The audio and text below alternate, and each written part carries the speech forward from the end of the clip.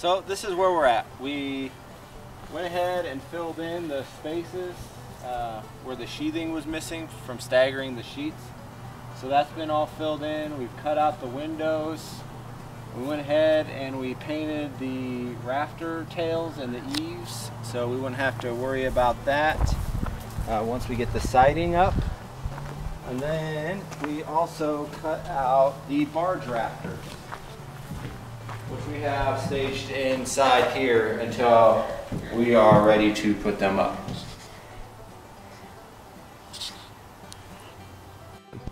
So the next thing that we're going to do is work on our gable ends. Uh, we do have them framed out. Once we get our 12 foot tub in, we'll put in that center stud and then we can put on the sheathing and we can work on putting on the windows and the shingles and all that. We also have to put on the barge rafter. We also have to put on the ridge cap and then the rest of the trim for the roof.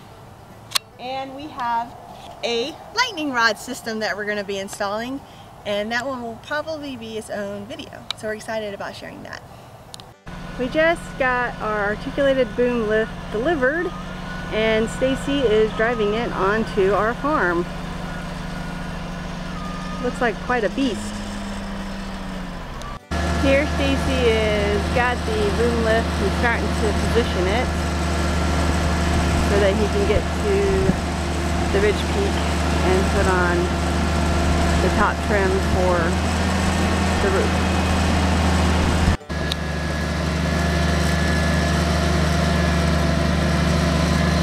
This is a pretty delicate operation because he's using hand controls and they're kind of jerky and he doesn't want to hit the roof.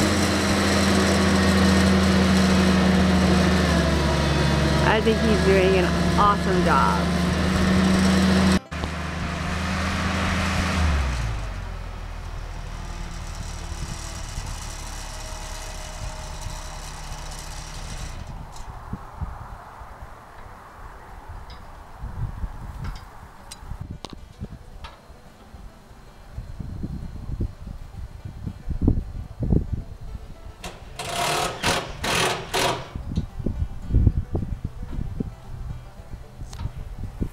Is that much easier than trying to be up there on the roof doing that? Well, it was impossible before.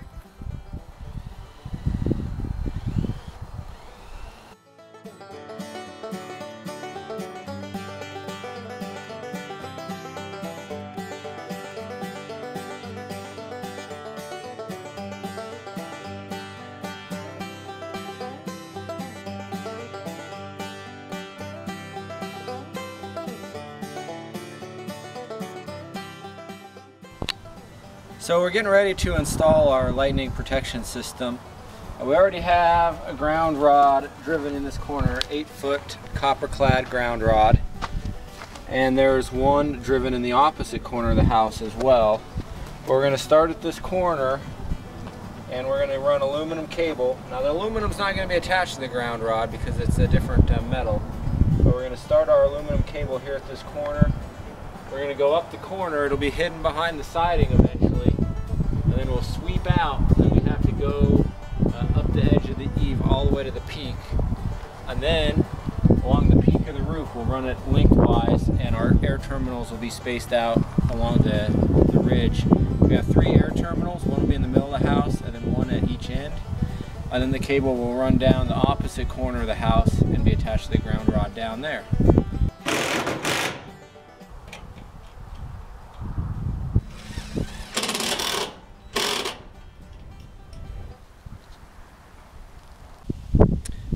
Ready to put on the air terminals. So I've already put on our glass toppers and made sure that the screws are really tight because I don't want to have to tighten them up uh, later. So until I get them installed though, I'm going to keep them inside the cardboard boxes for protection and then I'm just going to go up and screw them into the brackets and make sure they're real tight.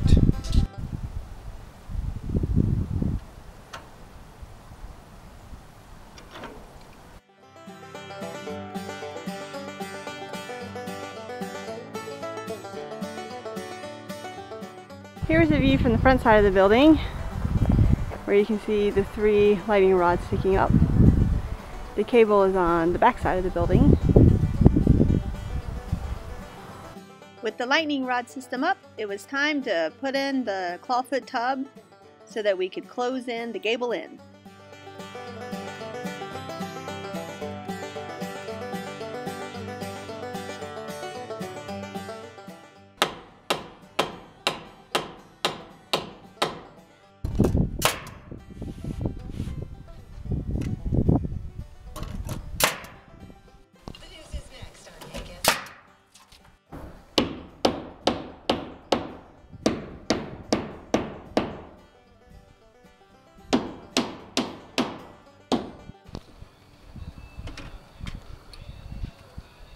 Today we were working all the way until the sun went behind the mountains. We got most of the plywood up on the gable end. Stacy's finishing. We also got the ridge cap on and the lightning rod system. It's a good day.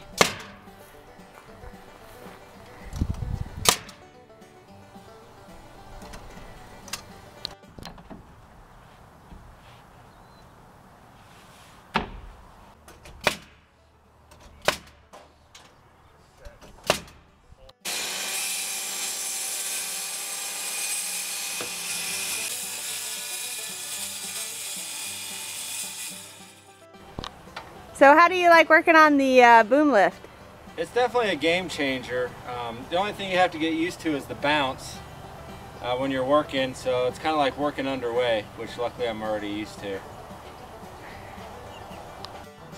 One thing that is nice about this rental we have is most things are rented by days or hours and larger equipment sometimes is rented by engine hours. So even though we've rented this technically for a day, it's actually eight engine hours. And uh, so we rented it over a holiday weekend. So they're not actually picking it up for two days, but we have it for eight engine hours. So once Stacy gets it positioned where he needs it to do whatever work he's doing, he just turns off the engine. So that extends how much work we can get done. Our design aesthetic is a solid American farmhouse with beautiful decorative elements. That is why we did a scalloped barge rafter and why we have the decorative glass balls on our lightning rods. We did it because it is pretty and it just makes us happy.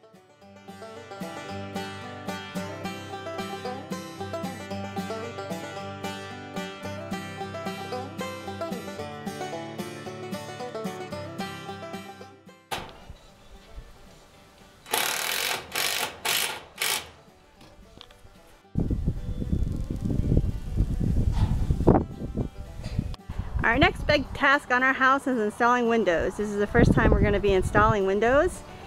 And here we are all set up with our man lift. We have our window, we have all of our tools. I'm going to go upstairs and work from the inside. And we'll see how it goes. Here comes our first test. We're going to dry fit the window.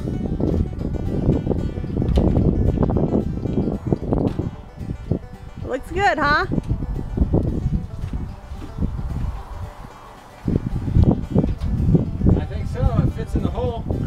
Awesome.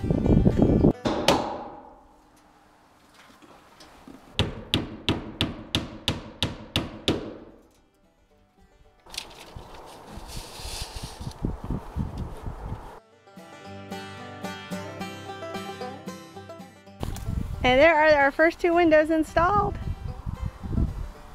Look pretty good. Very excited.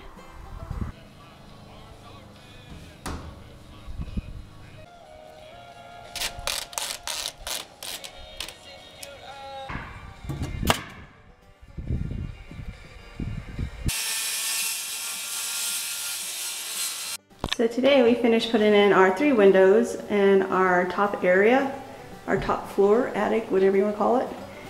Stacy's finishing flashing the front window. These are the rear two windows. And now this top floor is all enclosed and weather tight.